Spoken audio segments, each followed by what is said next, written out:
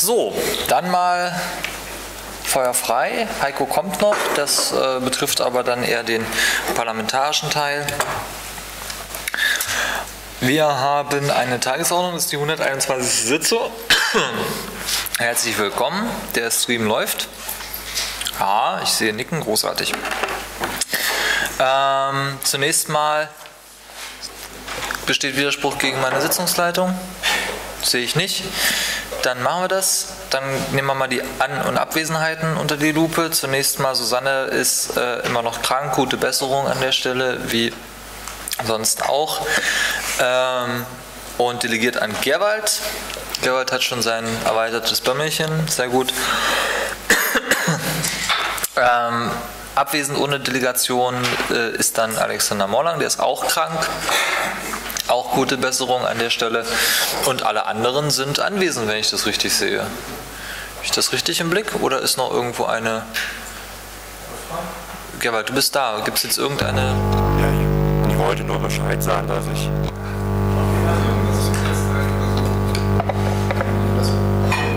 Ich wollte nur sagen, dass ich um, um 17 Uhr hier weg muss, weil ich dann zum Arzt muss, weil so ganz gesund bin ich leider nicht und das sind längerfristige Untersuchungen, wo ich die Termine leider einhalten muss. Das kannst du halten wie ein Dachdecker. Äh, Finde ich auch okay, dass du es vorher ansagst. Ähm, dann wissen wir das schon mal.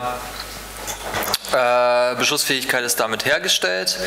Dann gibt es noch ähm, Änderungen der Tagesordnung, hauptsächlich von mir. Äh, zum einen ein Antrag äh, zur Unterstützung der Schülervertreter, Schülerinnenvertretung in Berlin. Gibt es Widerspruch, den mit auf die Tagesordnung zu nehmen?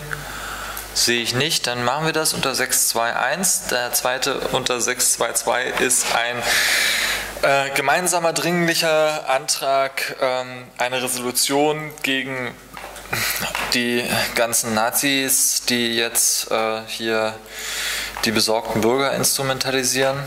Ähm, die Resolution kommt von der Koalition bzw. von der SPD, äh, ist äh, bei der ersten Prüfung auch durch die FachreferentInnen für gut befunden worden. Äh, wir haben dann davon abgerückt, was Eigenes äh, von Seiten der Opposition zu machen.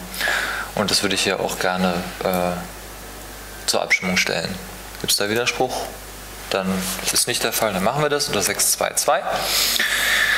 Äh, es gibt Ankündigungen und Ansagen. Gerhard muss äh, die Sitzung verlassen, das hat er gerade gemacht. Und äh, heute, das wisst ihr aber alle schon, um 16 Uhr kommt unser designierter äh, regierender Bürgermeister beziehungsweise der Herr über die Finanzen, der es mal werden soll, Herr Kollatz und stellt sich unseren Fragen. Die Finanzen werden nachgetragen, das hat Heiko noch nicht äh, geschafft. Und jetzt kommen wir zu Top 2, Genehmigung des äh, Protokolls der letzten Sitzung. Gibt es Aussprachebedarf zu diesem Protokoll? Sehe ich nicht. Dann frage ich, wer ist dafür bzw. dagegen, dieses Protokoll anzunehmen. Das ist, okay, jetzt muss ich durchzählen, ähm, bis auf den Simon Koleski, der sich enthält, den Andreas Baum, der sich enthält, den Pavel, der sich enthält und Gerwald plus eins, der dagegen stimmt, sind alle Anwesenden dafür. Vielen Dank. Dann ist es so angenommen. Dann haben wir die aktuelle Viertelstunde mit Gästen. Ähm, ich frage dann in den Raum. Nikolai hat eine, ein, politischen, ein politisches Anliegen, das er mit uns diskutieren möchte, nehme ich an. Ich Darf möchte mich gerne vorstellen, da ich der neue Themenbeauftragte für Bildung Hervorragend, kommst du ran, setzt du dich einfach vorne an den äh, Tisch äh, und machst dein Mikrofon an. Wie gesagt, wir begrenzen das äh, erstmal standardmäßig auf 15 Minuten hier, wenn sich eine Diskussion entspannt, aber fühl dich nicht unter Druck gesetzt, einfach mal anmachen. Das muss leuchten. Super. Ja. Bitteschön. Danke. Mein Name ist Nikolai und ich bin seit einer Woche Beauftragter für Bildung und Familie und möchte mich kurz vorstellen. Soll ich das jetzt machen? Fünf Ja. Minuten? Ja, danke. Ich bin seit 2011 bei der Partei Mitglied, äh, engagiere mich im Bildungssquad, habe da unter anderem den Antrag für die Umwandlung von Schulpflicht in Bildungspflicht äh, inhaltlich mitgestaltet, der auch in 2012 angenommen wurde. Äh, Im Fam Familienbereich habe ich noch nicht so viel Erfahrung. Da äh, schwebt mir vor, auch einen Squad zu bilden, den es da noch nicht gibt, um alle zusammenzuführen, die in diesem Bereich arbeiten. Beruflich bin ich Pädagoge und Familientherapeut in eigener Praxis. Äh, arbeite an Schulen, unterrichte da teilweise und in der Lehreraus- und Weiterbildung, zum einen im deutschsprachigen Bereich und auch in USA und anderen Ländern. Ja, ich denke, das ist so der größere Überblick, falls es noch eine Frage gibt. Gerne. Ja, erstmal vielen Dank für die Vorstellung. Genau, Mama aus, dann hörst du uns auch besser. So, vielen, vielen Dank für die Vorstellung. Äh, wir kennen uns ja schon. Ich wäre dann quasi dein direkter Ansprechpartner. Ich freue mich auch drauf. Das kriegen wir hin. Und wenn es einen äh, Termin für eine Squad-Sitzung gibt, dann äh, komme ich auch gerne, wenn ich irgendwie kann. Ähm, ansonsten äh, kennen ja auch die entsprechenden Referentinnen dich schon. Und ich glaube, wir haben inhaltlich gar keine Differenzen. Ich habe ja auch den äh, Bildungspflichtantrag unterstützt und das ist ja auch eine ganz wunderbare Sache. Gibt es es jetzt noch Fragen aus dem äh, Bereich, den Nikolai demnächst bespielen wird oder ab jetzt? Nö, sehe ich nicht. Ja, dann, äh, außer du willst jetzt noch irgendwie ein Thema voranbringen. Ein bisschen, ein paar Minuten haben wir noch.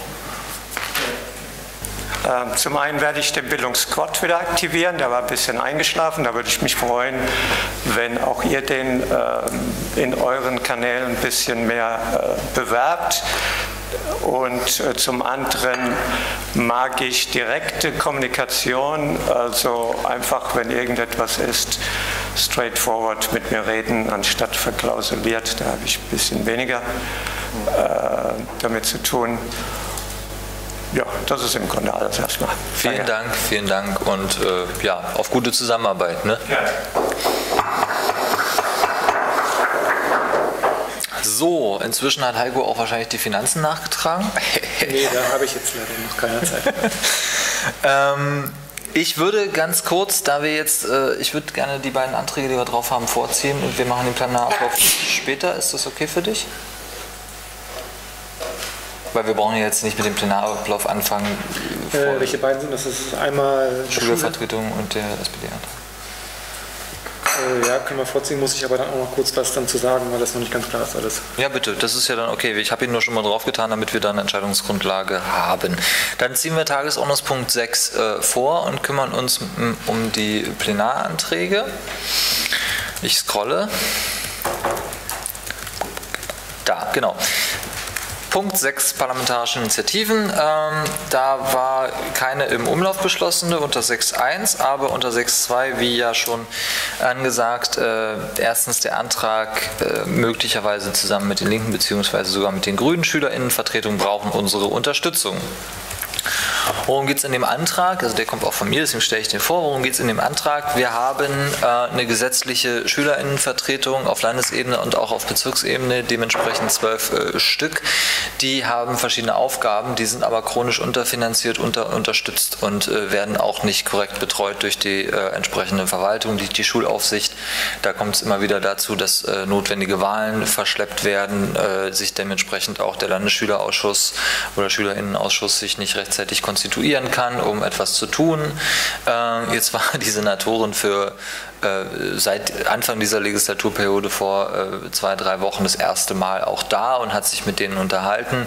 Ansonsten werden die aber eher an der kurzen Leine gehalten. Im Vergleich zu äh, dem bundesdeutschen Schnitt ist die ähm, Arbeit, die von oder die Ressourcen, die von der Verwaltung ähm, aufgewendet werden, um diese Partizipation aus dem Bereich Schule von Seiten Schülerinnen und Schülern zu unterstützen, extrem gering. Was wollen wir? Wir wollen ähm, das Ende ändern, zum Ersten. Ähm, wir wollen, dass auch den Schulen nochmal klar gemacht wird, welche Rechte denn eigentlich diese SchülerInnenvertretungen haben. Das ist ganz oft, äh, fällt das so hinten runter. Äh, wir wollen, dass die ähm, eben diese verschleppten Wahlen behoben werden. Wir möchten auch, dass es ein Auskunftsrecht der Schülerinnenvertretung gegenüber der Verwaltung, der Bezirksverwaltung und der Landesverwaltung gibt, ähnlich wie das äh, zum Beispiel der Landeselternausschuss äh, auch wahrnimmt äh, und auch andere Beiräte, äh, die gesetzlich verankert sind, äh, wahrnehmen. Wir möchten das auch für die jungen Leute. Bisher werden denen halt äh, Anfragen bezüglich Gesetzesvorhaben, so ähnlich wie wir das ja kennen bei unseren schriftlichen Anfragen meistens nicht beantwortet oder ewig später. Äh, die sollen ein Recht bekommen, dazu soll das äh, Gesetz geändert werden. Ähm, es soll, äh, jetzt muss ich kurz gucken, genau ein angerechnetes Stundenkontingent geben. Ähm, bisher ist das irgendwie äh, mindestens eine Eine Schulstunde oder eine Stunde je Schulmonat, das soll nochmal evaluiert werden, da soll es äh, mehr geben, weil die auch einfach mehr tun, insbesondere wenn man sich vorstellt, dass gerade auf Landesebene ein sehr kleines Gremium, das, das manchmal ein bisschen größer ist, manchmal ein bisschen je nachdem, welches Schuljahr man hat und wie viel Engagement da ist, aber eigentlich ein sehr kleines Gremium sehr viel Arbeit zu leisten hat, wenn es seine Aufgaben ernst nimmt, äh, nämlich die ganzen Schulen, äh, der es ja fast 1000 in dieser Stadt gibt, ähm, äh, oder zumindest die äh, knapp 600 äh, weiterführenden Schulen, für die sie zuständig sind, zu vernetzen und auch die Bezirksarbeit zu stärken. Da machen die auch Konferenzen und haben auch richtige sowas wie kleine Parteitage und so. Also solche Sachen, das kostet alles Zeit. Das soll denen auf ihren Schulstundenumfang angerechnet werden. Die sollen außerdem, das ist in anderen Ländern längst üblich, Ombudspersonen bekommen. Das sind Pädagoginnen und Pädagogen, die sich insbesondere mit der Arbeit dieser Gremien beschäftigen und in zum Beispiel fachliche Hilfestellung geben, aber auch als ähm, äh, Kontaktperson in die Verwaltung, in die Schulaufsicht und so weiter ähm, fungieren. Die einzelnen Aufgabenbeschreibungen stehen im Antrag. Ähm, ein noch, jetzt muss ich kurz gucken, genau, ein äh, zu Recht noch ein bisschen kontroverses Thema, aber ich will das trotzdem gerne mit euch, weil es die weitergehende Forderung ist, schon mal äh, beschließen, ist ähm, die Schülerinnen und Schüler, also die Schulsprecherinnen und Schulsprecherinnen unmittelbar als äh, Teil der erweiterten Schulleitung äh, zuzulassen. Äh, das hat dann nochmal andere Kompetenzbedingungen. Äh, ähm, das hat nochmal äh, die Voraussetzung, dass äh, die Schulleitung eben nur unter zumindest beratender Teilnahme der äh, Schülerinnenvertretungen auch Entscheidungen treffen kann, dass die informiert werden von den einzelnen, äh, von, über die einzelnen Maßnahmen der Schulleitung. Ähm, ein bisschen es betrifft ein bisschen den Gleichbehandlungsgrundsatz, äh, das ist die Kritik daran, weil es äh, zum Beispiel auch äh, konstituierte Elternvertretungen eben nicht erlaubt ist, daran teilzunehmen und auch Sozialpädagogen und Sozialpädagogen, also das nicht ordinär pädagogische Personal der Schule eben auch nicht eine Vertretung in der Schulleitung hat. Da muss man noch ein bisschen gucken, ob wir das verargumentieren. Vielleicht gehen wir auch hin zu einer Auskunftspflicht auch gegenüber der, also von Seiten der Schulleitung gegenüber den Schülervertreterinnen ein Stückchen von der Forderung zurück zurück. Ich würde das aber trotzdem gerne, weil das so die politische Linie ist und die Zielrichtung gerne mit euch diskutieren und auch abstimmen. Und da äh, diskutieren wir dann bei den Linken und den Grünen noch über die genaue, äh, über den möglichen Kompromiss, über den ich euch dann natürlich auch gerne informiere. Ja, das ist der Antrag. Gibt es dazu Aussprachebedarf? Das sehe ich nicht. Dann kommen wir zur Abstimmung. Er ist dafür bzw. dagegen, den so einzubringen. Übrigens jetzt noch. Du hast kein Bällchen? Dem kann abgeholfen werden. Ähm, ich nehme auch gerne deine mündliche Abstimmung. Äh, ja, gut, das ist ein Ja. Äh, also ist das einstimmig bei Enthaltung von Christopher? Nee, ich bin dafür. Christopher ist auch dafür, dann ist es einstimmig mit Einstimmen. Vielen Dank. Finde ich großartig. Ein starkes Signal. Ein, ein, guter, ein guter Tag für diese Stadt für den BR und Hartmut Medon. So, äh, dann haben wir äh, unter 622 ein Antrag potenziell aller Fraktionen. Das, nach dem, was ich jetzt aus den Oppositionsfraktionen gehört habe, äh, wird das wohl auch so sein, wenn wir dem zustimmen. Ähm, und zwar mit dem Titel Flüchtlinge sind willkommen. Berlin tritt ein gegen Rechtsextremismus und Fremdenfeindlichkeit. Rechtsextremismus. Aber äh, Heiko wollte dazu noch was sagen. Bitte schön. Genau, das äh, ist ja jetzt ungefähr eine halbe Stunde oder so vom Ältestenrat gekommen. Und da haben wir jetzt auch gleich ähm, drüber geredet, weil wir hatten ja theoretisch als aktuelle Stunde ähm, das Thema Gewalt an Frauen ähm, und von nicht theoretisch. Ich sage halt nur, dass es drauf ist. Wir haben Gewalt an Frauen als Thema von SPD und CDU. Wir haben von den Grünen irgendwas mit Stillstand und wir haben von Linken und Piraten ähm, zu den Nazi-Demos äh, den Vorschlag. SPD und CDU bleiben dabei, dass es ähm, äh, Gewalt an Frauen ähm, Berlin sagt nein. Genau, Berlin sagt nein, sollte man noch davor sagen. Ähm, das bleibt. Äh, wir hatten uns ja dafür eingesetzt, dass es halt äh, die Demos und ähnliches äh, werden. Daraufhin ähm, ist halt, haben wir jetzt halt auch verhandelt, was halt das Thema dieser gemeinsamen Resolution dann angeht, wie das wo und wo so aufgerufen wird. Wir haben halt vorgeschlagen, dass man das ja, weil die Piraten ja die allererste Priorität direkt nach der Fragestunden haben, das dann halt als Priorität reinziehen würden, um das dann halt auch der, der Aufmerksamkeit und äh, so zu geben. SPD und CDU finden das nicht gut, weil wenn das eine gemeinsame Resolution ist und das dann in der Priorität der Piraten aufgerufen wird, das ist ja auch nicht Sinn und also ist auch absurd, bis ich dann erklärt habe, dann dürften Sie in Zukunft auch keine gemeinsamen SPD-CDU-Anträge mehr in einer Priorität der SPD oder der CDU aufregen, weil das ist ja das Gleiche. Ähm, aber dann sind Sie wieder ruhig gewesen, haben dann wieder gesagt, es hat einen anderen Grund und so. Ähm, Sie stellen sich vor, dass halt zu Beginn der Tagesordnung der Präsident äh, einleitende Worte äh, findet und dann quasi eine kurze Rede dazu hält und wir dann ohne Aussprache diesen Antrag so beschließen. Ähm, das ist im Prinzip der äh, Vorschlag, der zurzeit ähm, im Raum tritt. Ähm, die Linken und die Grünen bereden das auch gerade noch. Da gibt es noch keine abschließenden, abschließende äh, ja, Meinungsfindung. Ich gehe davon, also entweder wird die gemeinsame Resolution so äh, also beschlossen und dann vom Präsidenten angekündigt und ohne Aussprache beschlossen oder es gibt keine gemeinsame Resolution. Ähm, da stellen sich SPD und CDU ganz schön quer, auch bei anderen Punkten, aber dazu dann auch noch, auch noch später. Das erstmal ähm, vorneweg dazu. Äh, ich hätte gerne quasi einen Beschluss dieser gemeinsamen Resolution, würde mich dann aber im Nachhinein mit Martin, den Fraktionsvorsitzenden und den PGFs noch äh, zurückschließen von der Opposition, wie genau wir dann weiter damit vorgehen. Ähm, weil da müssen wir jetzt noch abwarten, wie die anderen Fraktionen, auch was die Signale aus SPD und CDU sind. So.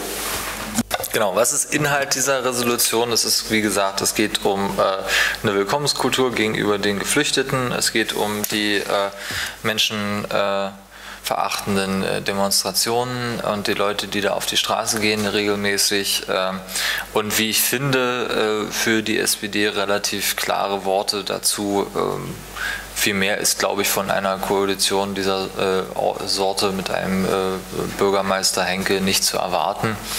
Ähm, die Alternative wäre gewesen, dass wir unsere, äh, unsere Priorität dazu verwenden, einen gemeinsamen äh, Antrag äh, ähnlicher Art, nur kritischer mit der Opposition zu machen. Äh, ich habe jetzt, äh, das ist mein letzter Stand, von den Grünen auch gehört, dass sie die äh, Verlesung eines solchen Statements bzw. eine Rede des Präsidenten für das stärkere Signal halten und das bevorzugen würden.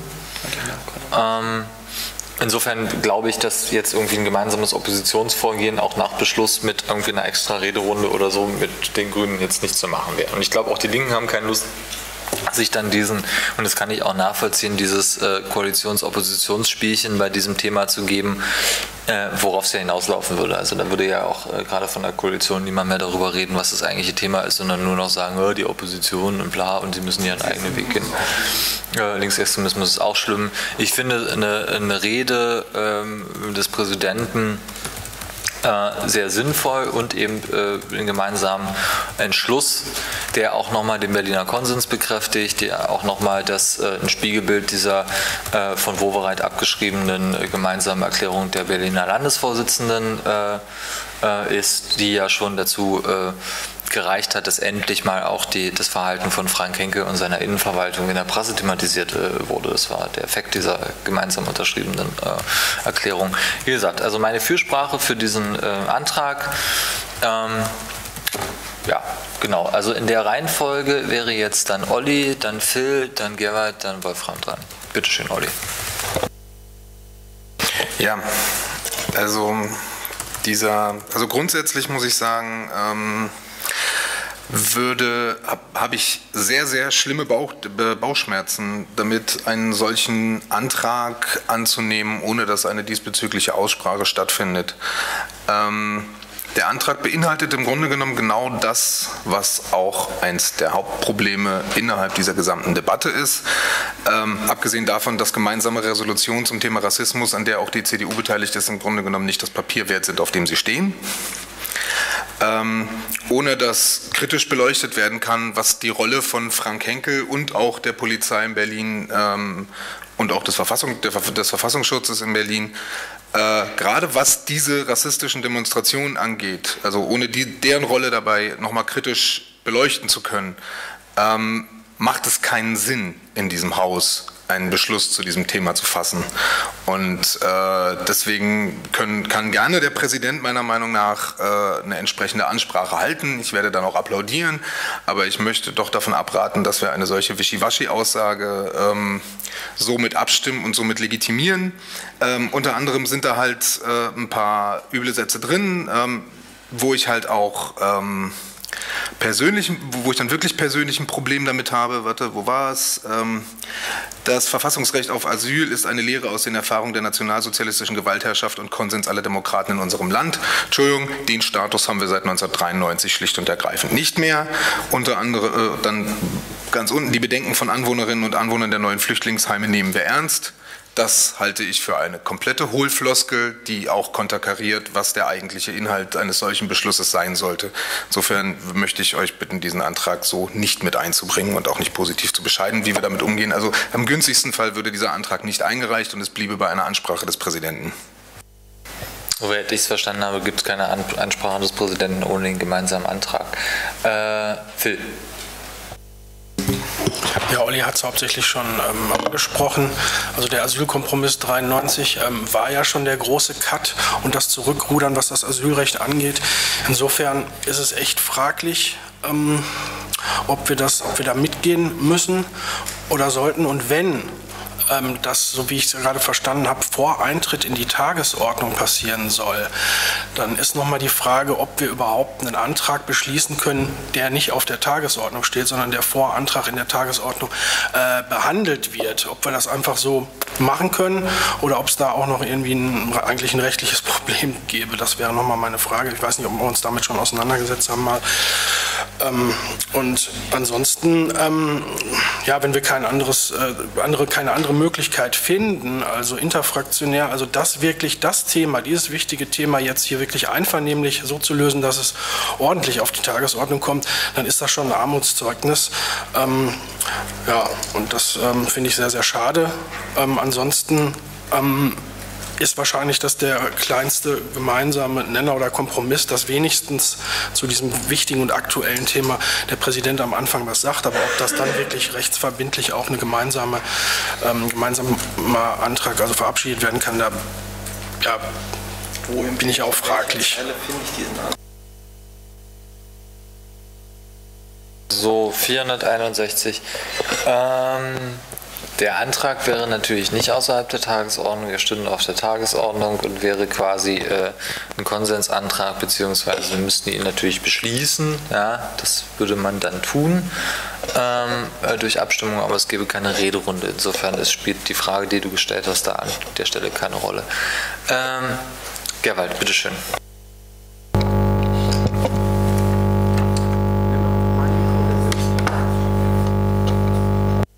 Ausgestattet.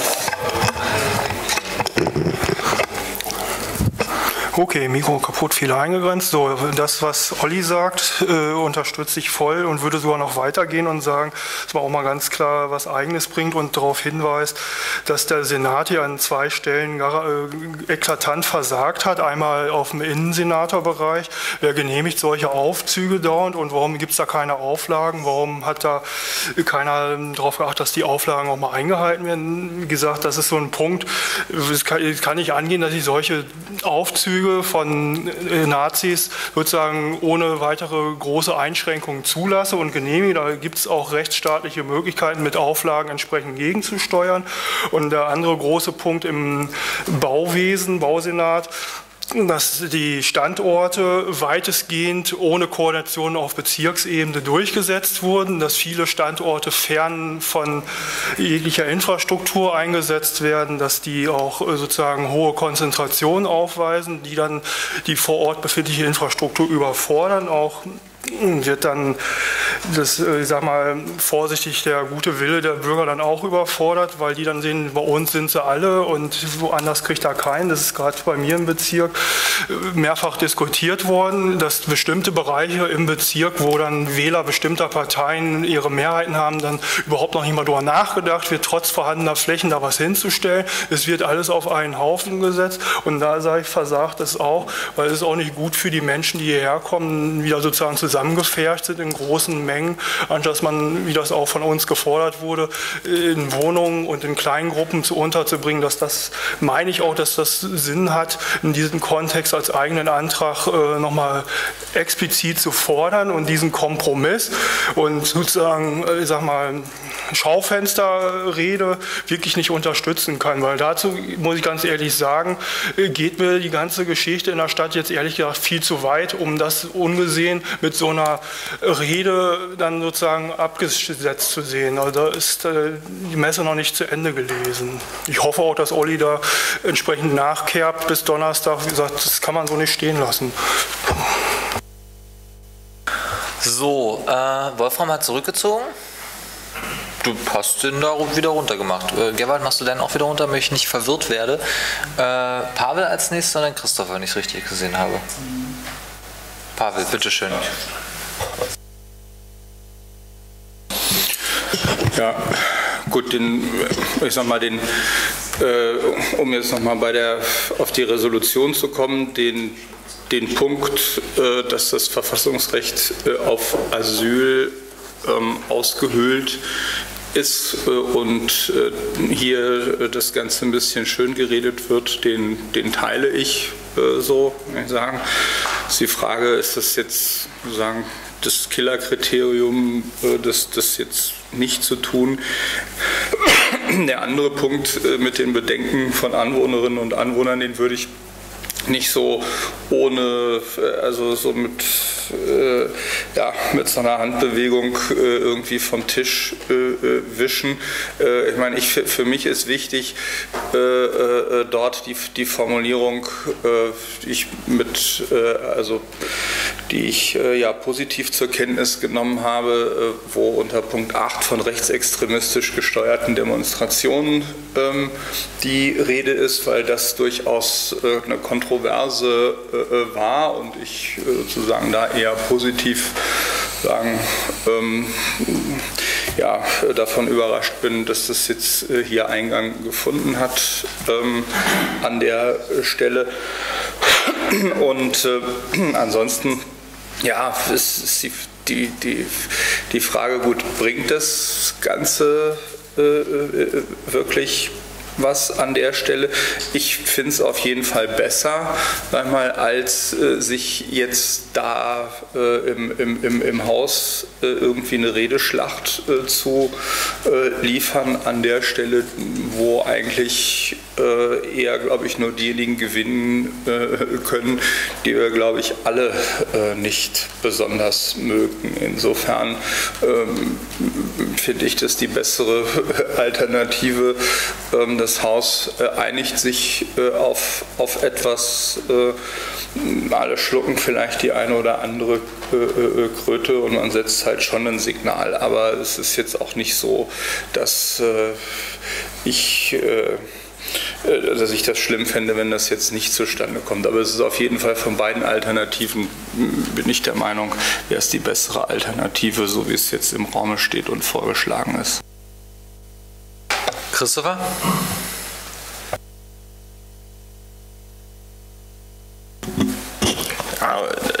wir merken, das ist ein sehr emotionales und sehr sensibles Thema. Ich ähm, teile da aber auch Pavels Meinung, dass ich der Meinung bin, äh, besser wir beschließen als Haus dieses hier, worauf wir dann auch im Zweifelsfall die CDU festnageln können. Äh, insbesondere das, was Pavel nochmal gesagt hatte mit ähm, rechtsextremistisch gesteuerten Demos. Das ist nämlich in der Sprache durchaus eine andere Qualität als, naja, also ne, wir hatten gestern einen Innenausschuss, da hieß es ja, ja, das sind halt irgendwie so Anwohner und besorgte Bürger und ja, da waren halt auch 25 Rechte, Rechtsextremisten darunter. Das ist einfach ein Unterschied, wenn wir als Parlament geschlossen sagen, das, das ist von Rechtsextremisten instrumentalisierter Protest. ähm, dass diese Aussagen über das Recht auf Asyl natürlich äh, in, einer, in einem hohen Maße bigott sind. Ja? Äh, so be it. Ne? Also äh, gut, das ist leider so. Und wir haben auch gestern im äh, Innenausschuss, und dann muss man das meinetwegen auch noch in anderen Ausschüssen thematisieren, ja auch gesagt, dass es eben Quatsch ist, ähm, gegen die Flüchtlingsunterkünfte vor den Flüchtlingsunterkünften zu demonstrieren, weil die Leute, die dort untergebracht sind, können ja nichts an ihrer Situation dort ändern, also außer auszureisen. Aber das wollen sie ja aus gutem Grund nicht.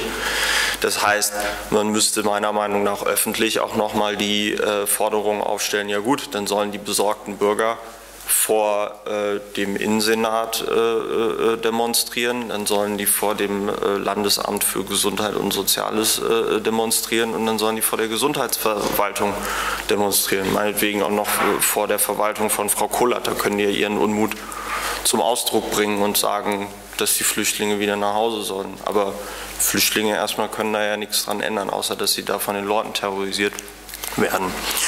Äh, ich finde, in, diese, in diesem Antrag sind sehr viele sehr lustige Sachen drin, auf die man dann eben auch die CDU festnageln kann. Ne? Und, dass man, ähm, und das finde ich, äh, diese Nachsätze, die Paul auch erwähnt hat, hier mit ähm, die Bedenken von Anwohnerinnen und Anwohnern äh, neuer Flüchtlingsheime nehmen wir ernst. Ne, und diese Bedenken lassen sich nur auf Grundlage von Dialog, Akzeptanz und gegenseitigem Respekt ausräumen. Das ist, denke ich, der wichtige Nachsatz. Ne? Ähm, klar, wir können uns jetzt im Parlament darüber zerstreiten, über die richtigen Formulierungen. Äh, das ist halt, wie gesagt, für alle Nazis da draußen eben ein Signal, dass wir es als Parlament noch nicht mal hinbekommen, irgendwie einen Schaufensterantrag zu machen. Ich meine, wir haben am Anfang der Legislaturperiode eine ähm, Entschließung zum äh, NSU-Terror gemacht. Ja? Äh, hatte jetzt möglicherweise auch nicht die Konsequenzen im Regierungshandeln, die wir uns daraus gewünscht haben. Aber immerhin kannst du das dem Henkel jedes Mal, wenn es aus Thema NSU kommt, immer schön aufs Brot schmieren und sagen, hier, hör mal, wir haben Aufklärung beschlossen, wir haben beschlossen, dass das ein schlimmes Verbrechen war und du machst hier eine scheiße Arbeit. Und ich finde, dazu ist dieser Antrag wunderbar geeignet und deswegen würde ich dem gerne zustimmen und finde auch das Verfahren, dass der Präsident was sagt und dann beschließen wir das, finde ich ähm, super. Ähm, ja, und ich würde mir wünschen, dass du nochmal genau erklärst, was jetzt die Änderungen deines Alternativvorschlags, äh, der nicht formgerecht eingebracht ist, sind. Ja, also äh, da ich äh, den Wortlaut dieses Antrages ja auch nur kurzfristig äh, vor Augen bekommen habe, ähm, habe ich mir jetzt gerade die Rederunde Zeit genommen, um da noch, um da einfach äh, zwei Änderungen vorzunehmen, die äh, immer noch sehr weit in der Schmerzzone, also die den Text immer noch sehr weit in der Schmerzzone äh, äh, sich befinden lassen, aber äh, mit diesen beiden kleinen Änderungen könnte ich im Zweifelsfalle eben auch damit leben, dass wir den mit einbringen und zustimmen. Das eine ist eine Änderung im ersten Absatz, zweiter Satz. Das Verfassungsrecht auf Asyl war eine Lehre aus den Erfahrungen der nationalsozialistischen Gewaltherrschaft und so weiter. Ähm, das ist eine meiner Meinung nach sehr kleine Änderung, die aber viel ausmacht, denn ähm, wie gesagt, äh, faktisch ist dieses Verfassungsrecht auf Asyl ähm, nicht mehr das, was, die Not, äh, was, was, was im Sinne des, äh, der Väter und Mütter des Grundgesetzes äh, äh, ähm, da reingeschrieben wurde. Und insofern ist da die Vergangenheitsform schlicht und ergreifend sinnvoll. Ähm, wer allerdings möchte, hat immer noch den Interpretationsspielraum, das schlicht und ergreifend auf die Verfassung des äh, Absatzes ähm, zu beziehen und kann sich dann auch gerne weiter einreden, dass das immer noch so ist. Ähm, und ähm, ich habe dann im letzten Absatz als das zweite Wort von äh, Sorgen in Vorurteile geändert, ähm, habe mit Absicht das Adjektiv rassistische äh, weggelassen, denn das ist ja so ein Triggerwort bei der CDU, ähm, was bedeutet, dass wir diese Änderung sowieso nicht durchbekämen. Ähm, die sogenannten Sorgen der Anwohnerinnen und Anwohner der künftigen und bereits bestehenden Flüchtlingsunterkünfte äh, sind meiner Meinung nach sehr wohl real, aber sie sind äh, ja, schlicht und ergreifend kreiert durch rassistische Ressentiments oder eben Vorurteile, wenn man so sagen möchte. Ähm, und natürlich nehmen wir die Vorurteile ernst und wir wollen an den Vorurteilen arbeiten. Und ähm, die Sorgen, die aus diesen Vorurteilen resultieren, sind mir persönlich relativ egal. Ich möchte, dass diese Menschen ihre Vorurteile ablegen. Und ähm, ja, deswegen macht das meiner Meinung nach wesentlich mehr Sinn als die ursprüngliche Formulierung. Ähm, ich hoffe, dass wir das irgendwie, Heiko, zum, Heiko, dass du das noch irgendwie dann da rein verhandeln könntest, wenn wir das hier so. Ja.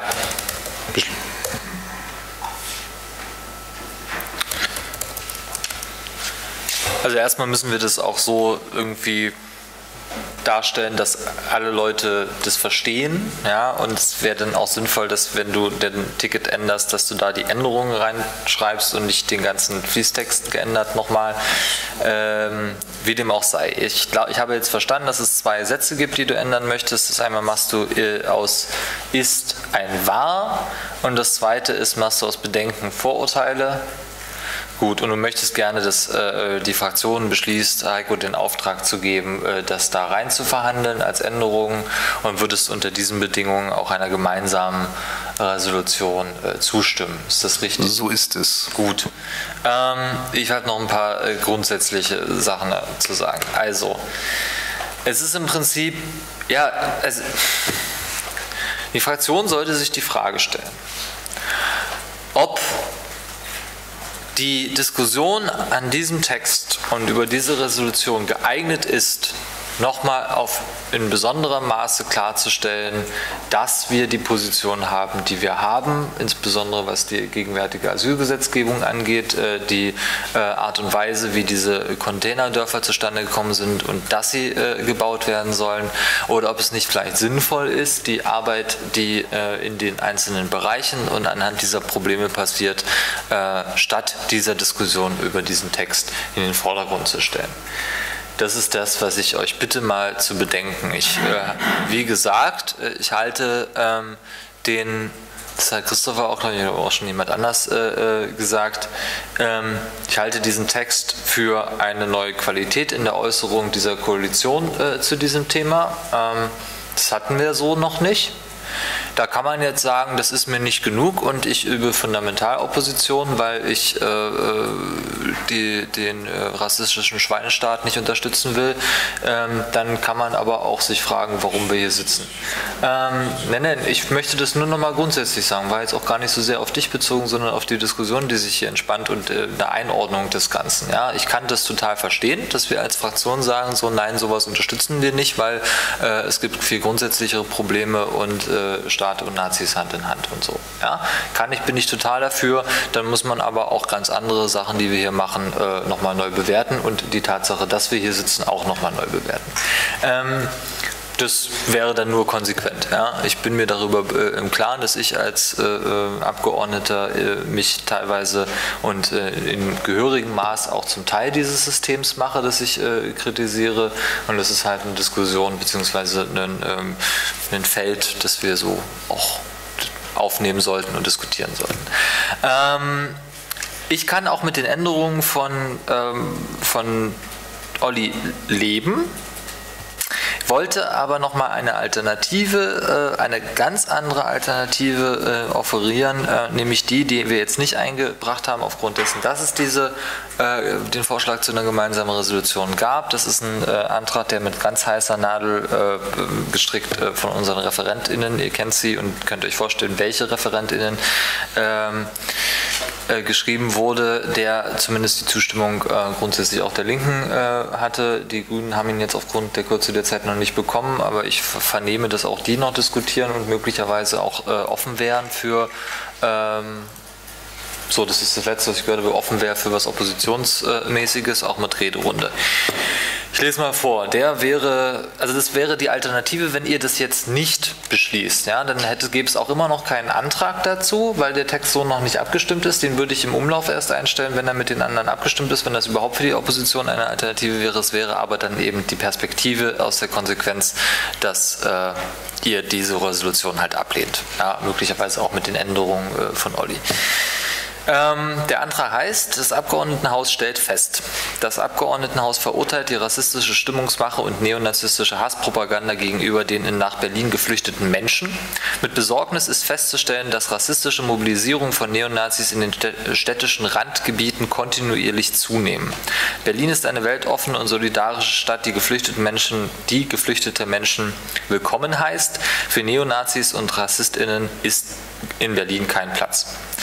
Es sind alle demokratischen Kräfte aufgefordert, sich friedlich im Rahmen ihrer Möglichkeiten den Neonazis und Rassistinnen in den Weg zu stellen und zu protestieren. Das Abgeordnetenhaus kritisiert. Doppelpunkt. Der Senat hat es versäumt, sich rechtzeitig auf steigende Flüchtlingszahlen vorzubereiten und menschenwürdige Unterbringungskapazitäten zu schaffen. Die Unterbringung von geflüchteten Menschen in Containerlagern ist menschenunwürdig. Sie bietet eine Projektionsfläche für rassistische, flüchtlingsabwehrende Einstellungen. Die Hauruck-Strategie des Senats, Bezirke und AnwohnerInnen mit seinen Plänen zur Containerunterbringung vor vollendete Tatsachen zu stellen, tut ihr Übriges. Ähm, wie gesagt, heiße Nadel. Neonazis und RassistInnen können trotz ihres gewalttätigen und aggressiven Verhaltens seit Wochen unbehelligt von der Polizei durch Marzahn, Köpenick und Buch marschieren und agieren. Zivilgesellschaftliche, der zivilgesellschaftliche Gegenprotest hingegen in Hör- und Sichtweite wird durch die Berliner Polizei nicht zugelassen, sondern behindert, und behindert, versteckt und kriminalisiert. Die Polizei schreitet bei Störungen, Angriffen und Straftaten von Neonazis und RassistInnen auf die TeilnehmerInnen von Gegenprotesten nicht oder nur zögerlich ein. JournalistInnen, die die Aufzüge der Neonazis und RassistInnen begleiten, um darüber zu berichten, werden von, Teil von den TeilnehmerInnen bedroht, bedrängt und angegriffen, ohne dass die Polizei einschreitet. Das ist die äh, Stoßrichtung, die so quasi aus der äh, Mitte der Fraktion äh, gekommen ist. Ich kann mir auch gut vorstellen, dass wir so, so eine oder eine ähnliche Erklärung auch äh, getrennt nochmal veröffentlichen oder äh, diskutieren. Ähm, wie gesagt, die kann man noch äh, verschönern. Ich finde, aber das sind auch ganz klare Worte, mit denen wir äh, außerhalb der Diskussion äh, um diese gemeinsame Resolution auch nochmal unsere Position klar machen können. So, das war das, was ich euch noch zur Kenntnis geben wollte. Ich habe jetzt äh, vollständig den Überblick verloren, wer sich zuerst gemeldet hat. Pavel, da. Fabio hat mittlerweile runtergemacht, dann Alexander Spieß, dann Simon Kowaleski. Vielen Dank für die Aufmerksamkeit. Dann äh, Pavel, Heiko. Genau, Pavel, dann erst Pavel, dann Heiko, dann Alexander Spieß und dann Simon Kowaleski, bitteschön. So, äh, ja. Äh, erstmal zu den Änderungsvorschlägen von Olli. Ich bin nicht der Meinung, ähm, dass sie das Papier äh, besser machen. Äh, ich bin insbesondere nicht der Meinung, ich meine, manchmal, also natürlich gibt es manche Wahrheiten äh, so, aber äh, gerade in, äh, äh es, es, gibt halt gerade oft im politischen Kontext die Situation, dass man halt äh, diese äh, lieber besser nicht ausspricht, weil wenn man das tut, sie man halt einen anderen Eindruck erweckt als das, was man will. Sprich, wenn man hier jetzt so tut und sagt, Formulierung, um das jetzt mal ein bisschen weiterzutreiben, wenn man jetzt nicht das wahr äh, macht, sondern sagt, es äh, da reinschreibt, es gibt kein richtiges Recht mehr auf Asyl. Und das erklären wir jetzt als Abgeordnetenhaus. Ich meine, was ist denn das für ein Signal? Bitte schön, nach dem Motto, wir äh, sozusagen sagen jetzt, okay, ist abgeschafft, äh, warum beschäftigen wir uns damit eigentlich? Schicken wir, können wir sie ja gleich nach Hause äh, schicken. So, deswegen bin ich der Meinung, genauso wie, ich sag mal, im, im, im Grundgesetz, Paragraph 1, Würde des Menschen ist unantastbar. So, wir wissen alle, dass natürlich das ein frommer Wunsch ist, dass die regelmäßig ausgestellt ist. Trotzdem fände ich es nicht gut, wenn da jetzt dahinter stünde, in der Paragraph 1, Würde des Menschen ist unantastbar, Ausnahmen regelt das Ausländergesetz äh, so.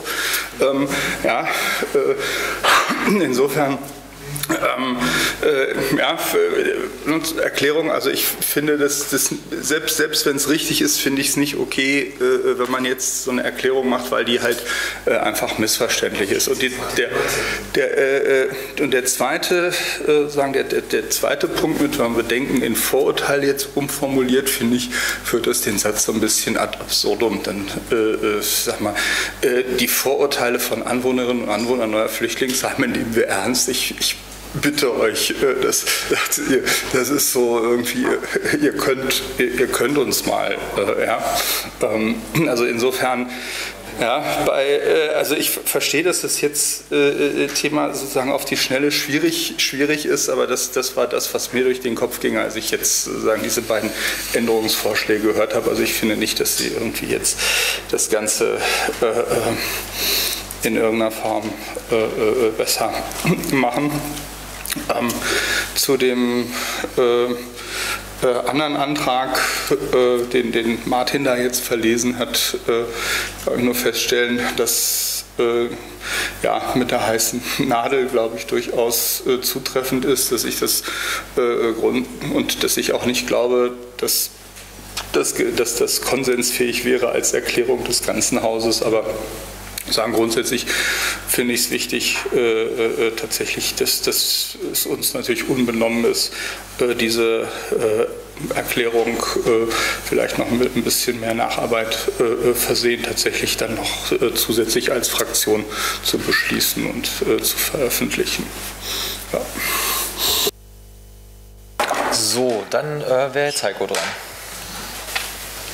Ja, danke.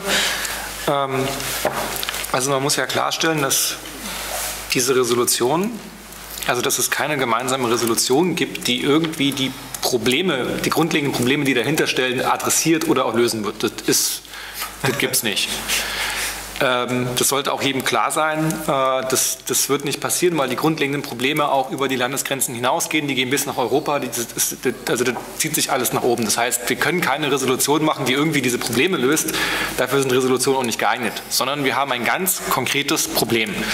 Und das ist schon eingetreten. Wir haben eine bestimmte Anzahl der Bevölkerung in bestimmten Teilen dieser Stadt schon verloren an die Nazis. Die sind, schon, die sind von denen schon vereinnahmt worden, die sind von denen schon überzeugt worden, die haben wir schon aus dem demokratischen Kreis zurzeit verloren.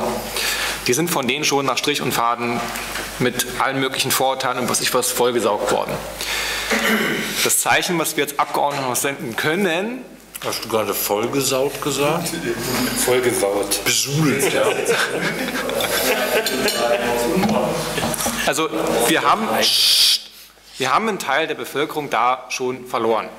Jetzt kann man darüber diskutieren, warum und wieso und natürlich ist, ist die Herangehensweise des Senats etc. führt zu diesen ganzen Problemen. Das kriegen wir aber nicht wir als Abgeordnetenhaus mit einem schicken Antrag, auch wenn wir das gemeinsam beschließen, äh, gelöst. Also wenn das bei der gleichen Flüchtlingspolitik bleibt, die wir im Land zurzeit haben, ähm, da müssen wir uns dann quasi kontinuierlich sowieso mit diesem Senat beschäftigen. Der Unterschied besteht darin, wie es ja auch schon angesprochen worden ist, dass wir ihn auf bestimmte Sachen festnageln können. Wir können dann zum Beispiel am 11.12. wieder gucken, wie sieht es denn mit den nächsten Demonstrationen aus. Wenn am nächsten Wochenende sich wieder Nazis treffen und sonst was alles und wieder die Linken zusammengeschlagen werden oder mit Pfefferspray vollgesprüht werden oder was ich was, dann können wir auch unseren Senat dafür in Haftung nehmen, beziehungsweise können wir die CDU und die SPD dafür in Haftung nehmen und ihnen das im Prinzip auch vorwerfen. Und ein wichtiges Signal ist es auch, dass wir als demokratische Parteien, die hier drin sind, ein Zeichen gegen diese NPD und andere Organisationen da draußen schicken, dass wir sie auf diesem Schlachtfeld, was es da ja ist, nicht gewinnen lassen werden und dass wir die dort wieder aus den Köpfen der Leuten rausholen werden. Und das ist meiner Meinung nach ein Zeichen, das wir als Abgeordnetenhaus gemeinsam nur senden können, weil wenn wir dort, also wenn wir das dort, also alles, was wir da irgendwie in einem Kampf oder irgendwie sowas, deswegen habe ich mir das auch nochmal durchgesagt. Also das stimmt, also das ist halt echt ein schwieriges Schwert an der Stelle. Ähm, aber alles, was wir da quasi dann einem Kampf und ähnliche Sachen machen, ist halt im Prinzip gefundenes Fressen. Ist halt genau dieser Nährboden, den die zurzeit benutzen können, den wir mit den wir eh nur mit langer Arbeit wieder wegbekommen. Also wir müssen ja auch wieder um Vertrauen bei diesen ganzen äh, Organisationen kämpfen, äh, die vor Ort äh, sich für, für, für, für, für die äh, Versorgung von Flüchtlingen und ähnliches außerhalb der normalen staatlichen äh, Unterstützung äh, engagieren. Die sind, da sind ja auch viele Leute vor den Kopf gestoßen worden, also in Treptow oder sonst wo alles. Ähm, Hallo? Und äh, da, da, ist sowieso langwierige Arbeit wieder angesehen. Die kriegen wir mit einem Beschluss etc. eh nicht das ist im Prinzip nur ein Signal, was halt auch von der Presse dann aufgegriffen werden kann, um halt mal wieder eine Gegenöffentlichkeit zu erzeugen, dass man das halt auch nicht verloren gibt, sozusagen. Also, dass es halt nicht irgendwie so äh, eine blöde Gegend in Marzahn-Hellersdorf ist. Deswegen habe ich auch ein Problem mit dem Unterschied mit Vorurteilen. Also, wir können halt auch nicht den Leuten dort vorne, also, also wenn wir als Abgeordnetenhaus beschließen, dass die Leute dort vorne alle bescheuert sind und Vorurteile haben, geht auch nicht. Also,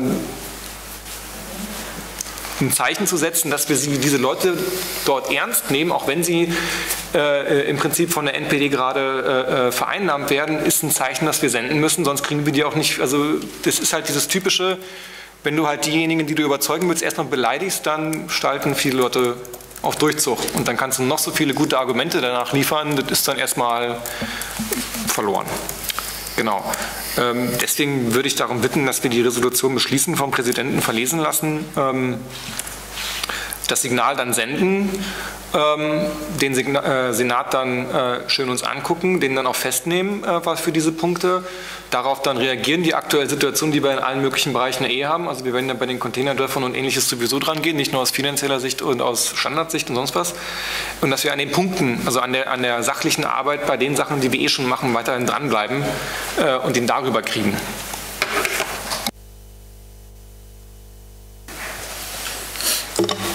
Ja, Martin, also den mit heißen Nadel gestrickten Antrag fand ich natürlich ganz toll. Äh, ich habe dir noch nicht das Wort gegeben. Ähm, achso. Ja. Läuft hier so.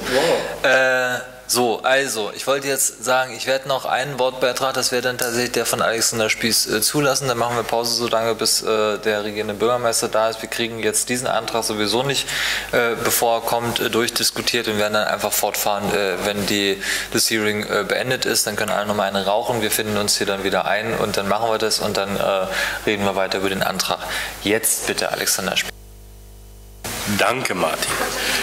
So, ähm, ja, die Frage ist, was Heiko hat das Wesentliche gesagt. Wenn dieser Antrag was bewirken soll, dann allerhöchstens das Signal nach außen, das Abgeordnetenhaus ist sich einig und stellt sich gegen diese rechtsextreme Gewalt. Und was in dem Antrag nun im Einzelnen steht, das wird in der Öffentlichkeit gar nicht so rezipiert, das wird keinen wirklich interessieren. Die einzige Sache ist ja, was Christopher sagte, dass wir solche Sachen wie rechtsextremistisch gesteuerte Demonstrationen, dass wir diese Sache nochmal in Ausschüssen oder in der Politik verwenden können. Insofern, also auch wenn ich mir da 100.000 Verbesserungen vorstellen könnte, ähm, ich glaube, darauf kommt es nicht an. Wichtig ist, dass wir eben hier keinen großen Streit anfangen, denn das Schlimmste wäre, wenn in der Presse stünde, das Abgeordnetenhaus streitet sich über rechtsextreme Gewalt. So, genau. Dann äh, mal vorsorglich, also wenn ihr jetzt äh, rauchen geht, dann äh, guck mal, dass ihr nicht allzu lange draußen stehen äh, bleibt. Ich würde mal so ansetzen, äh, 10 Minuten äh, Pause. Vielleicht ist er nicht ganz pünktlich, aber dann wisst ihr ungefähr Bescheid. Ne? 16 Uhr. 16 Uhr war angesetzt, aber das ist ja nie ganz pünktlich, wisst ihr doch alle.